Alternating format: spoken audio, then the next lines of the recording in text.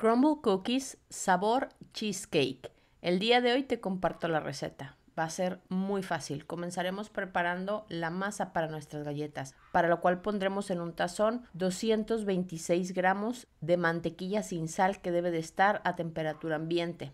También taza y media de azúcar mascabado y todo esto lo vamos a batir hasta que se vaya acremando. Posteriormente agregaremos un huevo y una cucharadita de vainilla. Continuamos batiendo y esta sería nuestra consistencia.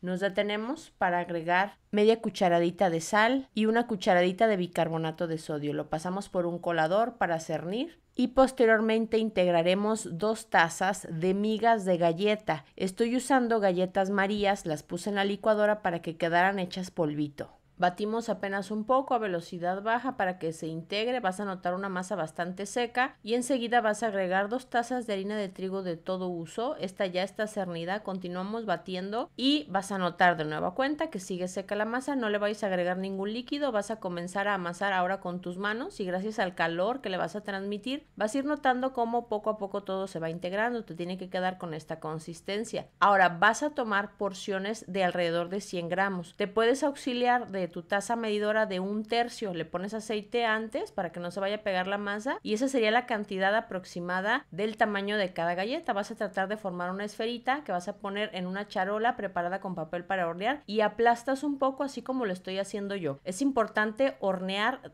tandas pequeñas para que las galletas queden bastante separadas ya que se van a expandir muchísimo.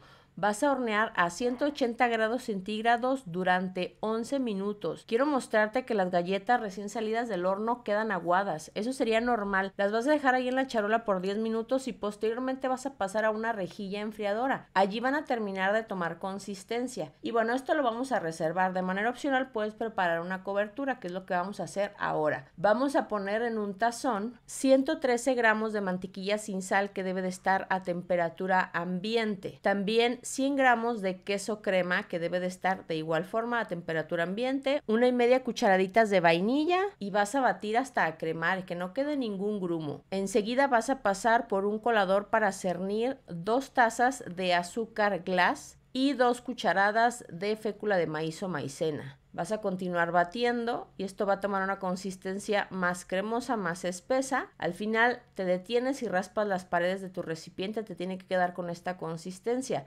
En este momento vamos a decorar nuestras galletas que ya deben de estar a temperatura ambiente, ya quedaron planitas.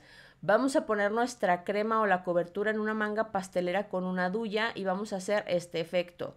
También le vas a agregar algunas cerezas de esas que son glaseadas que te venden como relleno para pies, las venden en los supermercados o en las tiendas de materias primas. Colocamos algunas cerezas en la parte superior y finalizamos con un toque de migas de galleta también, pues para llevar a cabo este efecto de que se trata de una galleta con sabor a cheesecake.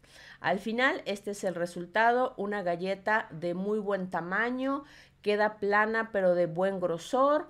Estas galletas tienen que permanecer en refrigeración debido a la cubierta que tienen. Al final a mí me resultaron 11 galletas.